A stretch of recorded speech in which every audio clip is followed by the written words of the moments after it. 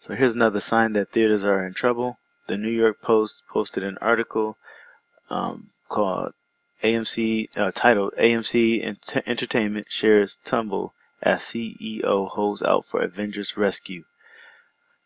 This reminded me of what um, Box Office Mojo had put out a few months ago with Captain Marvel saying that well the they were re- they were waiting on Captain Marvel to basically rescue the box office. Uh, here is the there this is what I'm looking for. And this was posted on March 7th. So what we had in the theaters were Alita uh, was us and I don't know if us was out yet.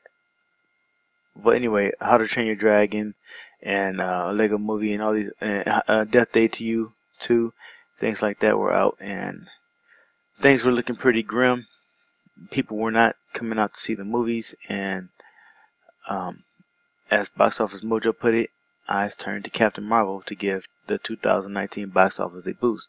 So I'm going to get back to this article right here and get more into this, but it's basically saying what you know I've been saying too, is, and that is that the Disney monopoly is pretty much keeping the theaters alive right now.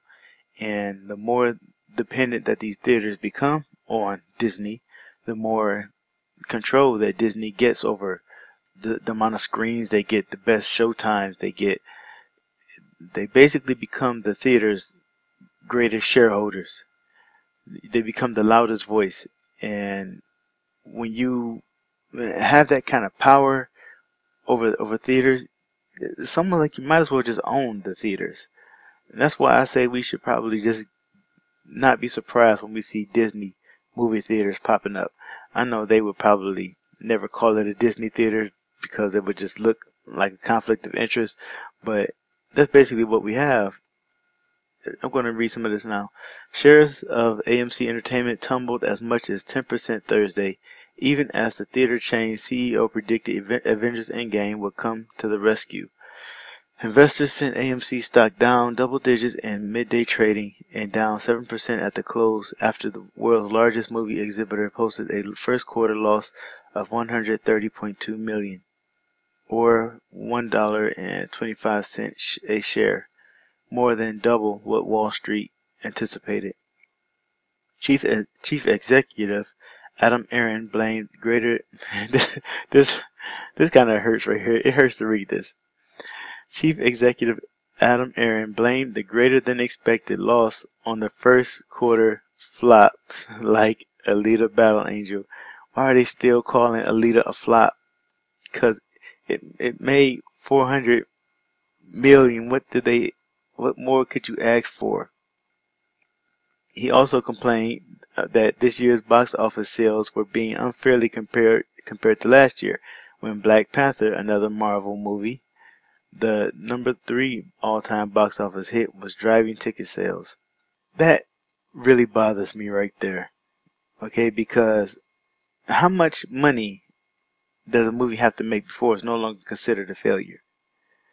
Alita made 400 million so far. You know, it, it climbed slowly. It wasn't exactly a, a, um, a runaway train. It went very. It was a, the little engine that could. It chugged along slowly and continue to, to, to gain money and to get repeat viewings and and, and it's going to make its money back.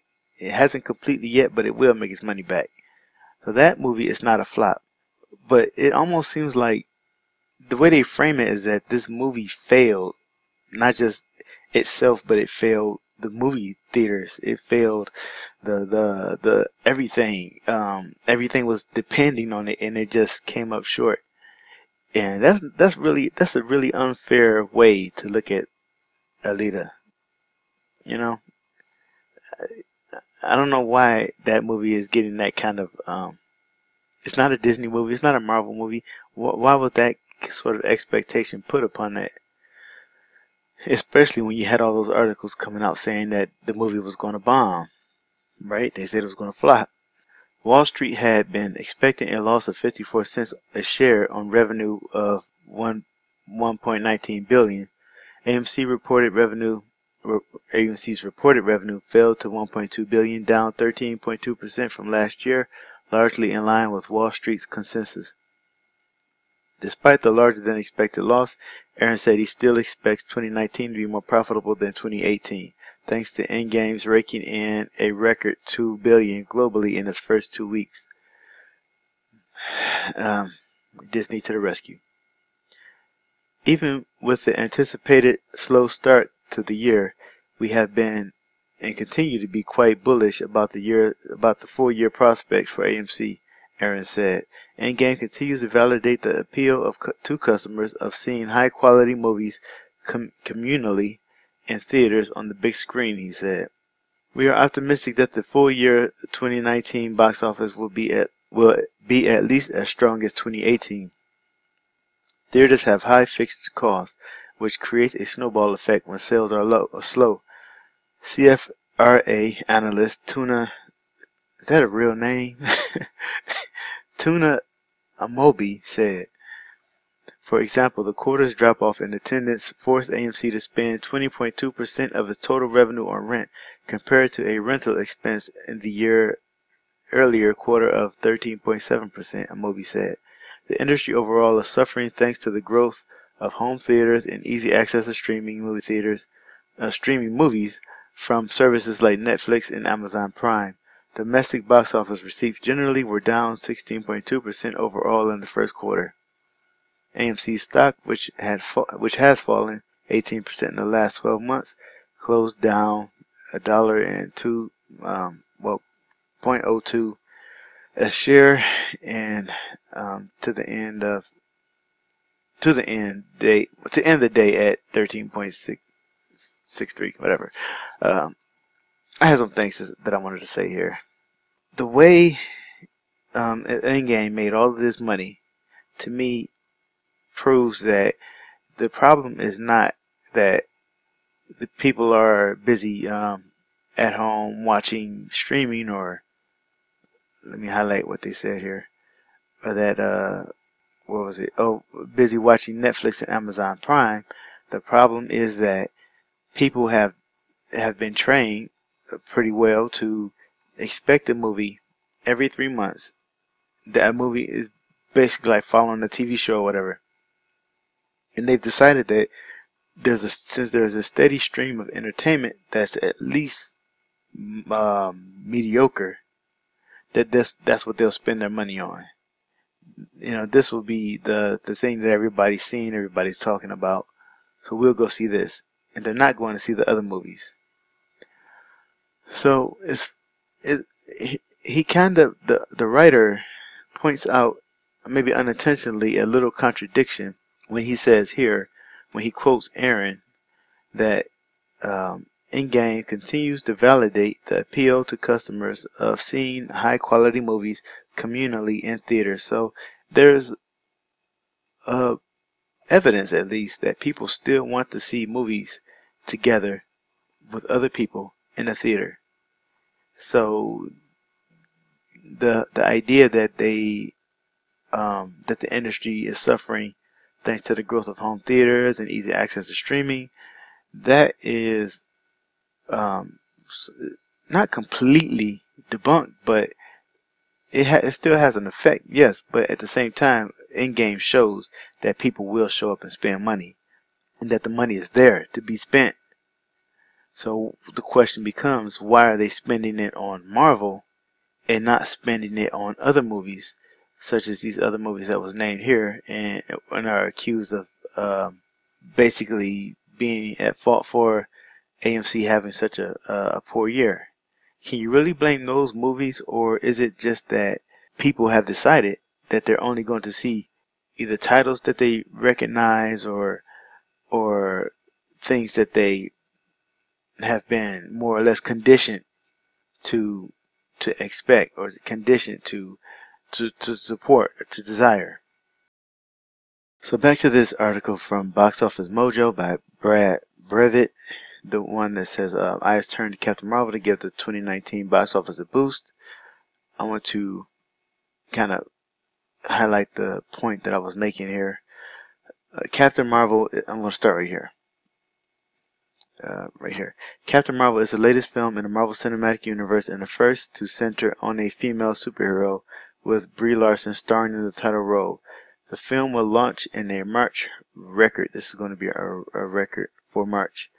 4,310 theaters, 3,000 uh, um, DVD, I mean, I mean 3D, I said DVD, 3,000 3D locations, 400 IMAX screens, 750 premium large format screens, 250 D-Box 4D locations with previews beginning at 6 p.m. on Thursday night.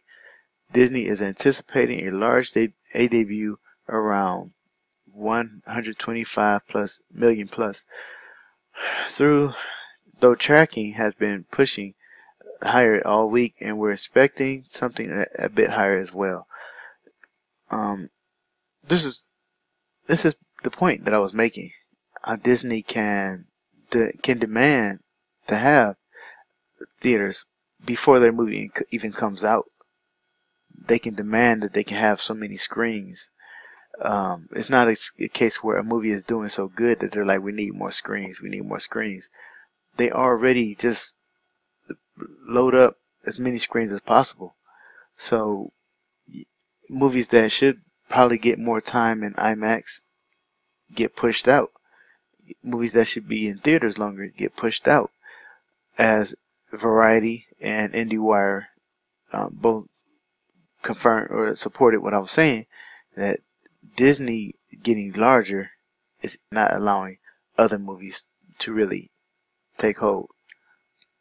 Um, that's basically all I wanted to, to, share for this video. I don't want it to go on too long. Um, if you haven't, well, if you have seen the movie Alita Battle Angel, but you haven't yet reviewed it yet on Blu-ray.com, you know, take a minute to to go review it. I think maybe you would be better off staying away from giving it a 10, 10 out of 10 because that even though if you, you feel like that like I do, like uh, on a level that I love it, even though objectively it's probably more of an 8.5, but I love it as like a, a 10. Um, who knows? They may end up discounting those. Like they may just feel like these are people trying to to manipulate the the score. So maybe just give it a nine, just just to be safe, maybe. Or you can go ahead and give it a 10. It doesn't matter. I don't know, but maybe maybe it'd be all right. I just don't want to give them an excuse to to delete anybody's reviews or ignore anybody's reviews. So, um, I'll, I'll leave the link so you can go look at those articles if you want to. And uh, thank you all for watching.